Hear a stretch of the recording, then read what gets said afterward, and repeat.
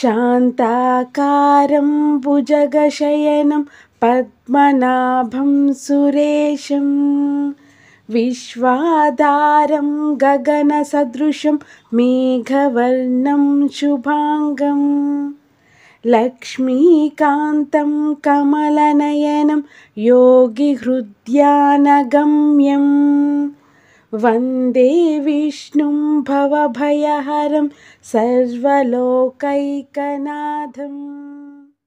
शान्ताकारं भुजगशयनं पद्मनाभं सुरेशं विश्वाधारं गगनसदृशं मेघवर्णं शुभाङ्गम् लक्ष्मीकान्तं कमलनयनं योगिहृद्यानगम्यं वन्दे विष्णुं भवभयहरं सर्वलोकैकनाथम्।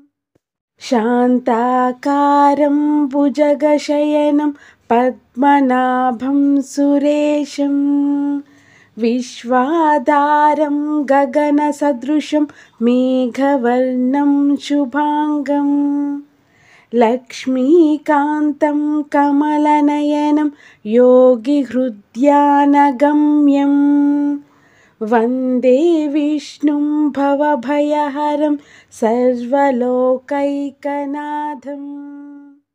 शान्ताकारं भुजगशयनं पद्मनाभं सुरेशं विश्वाधारं गगनसदृशं मेघवर्णं शुभाङ्गम् लक्ष्मीकान्तं कमलनयनं योगिहृद्यानगम्यं वन्दे विष्णुं भवभयहरं सर्वलोकैकनाथम् शान्ताकारं भुजगशयनं पद्मनाभं सुरेशं विश्वाधारं गगनसदृशं मेघवर्णं शुभाङ्गम्।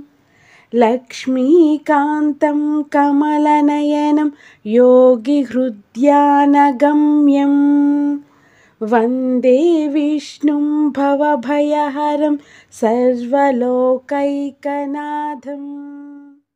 शान्ताकारं भुजगशयनं पद्मनाभं सुरेशं विश्वाधारं गगनसदृशं मेघवर्णं शुभाङ्गम् लक्ष्मीकान्तं कमलनयनं योगिहृद्यानगम्यं। वन्दे विष्णुं भवभयहरं सर्वलोकैकनाथम्। शान्ताकारं भुजगशयनं पद्मनाभं सुरेशं विश्वाधारं गगनसदृशं मेघवर्णं शुभाङ्गम्। लक्ष्मीकान्तं कमलनयनं योगिहृद्यानगम्यं वन्दे विष्णुं भवभयहरं सर्वलोकैकनाथम्